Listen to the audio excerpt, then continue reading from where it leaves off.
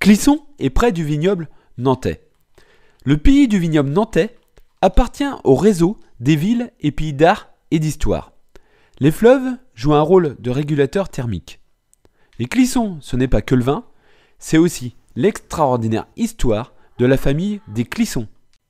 Clisson faisait partie du duché de Gétigné et était la clé de voûte de la défense des marches de Bretagne face à l'Anjou et au Poitou.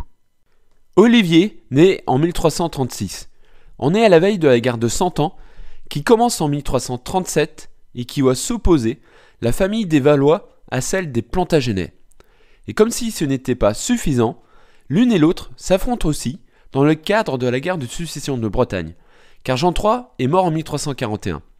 Le royaume de France et d'Angleterre veulent donc placer leurs partisans à la tête de ce duché. Olivier va être élevé à la cour d'Angleterre, car son père est soupçonné de trahison par le roi de France. Son corps va être pendu par les aisselles au GB Montfaucon à Paris et aussi à Nantes. Et les restes de son cadavre vont être exposés aux portes de Paris, outrage suprême réservé aux plus grands criminels.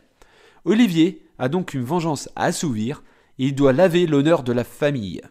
C'est donc avec un certain état d'esprit qu'Olivier débarque aux côtés d'Édouard III sur les côtes françaises. L'armée franco-bretonne, commandée par Bertrand du Guesclin, et l'armée anglaise, va s'affronter sur les murs dorés. Les 3500 Anglais vont écraser les Français grâce au génie tactique d'Olivier. Alors coup de théâtre, Olivier va basculer du côté français. En effet, suite au traité de Guérande de 1365, Jean IV est reconnu le seul duc de Bretagne. Mais celui-ci va connaître une grave erreur. Il va donner à un Anglais la forêt de Gavre et son château. Or Olivier convoitait ce château. Il va être fou de colère. Olivier va amené à effectuer des missions diplomatiques auprès de Charles V, le roi de France. Charles V va être malin. Il va jouer de son habileté et flatter l'orgueil d'Olivier pour le faire servir définitivement les intérêts de la couronne de France aux côtés de Bertrand du Guesclin. Olivier de Clisson meurt en 1407 au château de Josselin, élevé à la dignité de connétable de France. Clisson, c'est l'Italie en Loire-Atlantique. C'est grâce à Frédéric Lemo que l'on surnomme Clisson l'Italienne. Dans son domaine de 13 hectares, il a construit des statues antiques et un temple de Vesta.